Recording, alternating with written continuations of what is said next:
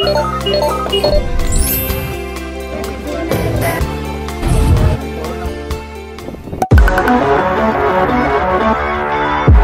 guys? This is Carrie. I have my trolley case with me. The school gave us a kit naman. Pero may mga stuff ko na hindi magkasya dun sa kit. So I brought this instead. Yung kit nasa loob with a few more stuff on it. So I'll be showing you that those stuff later.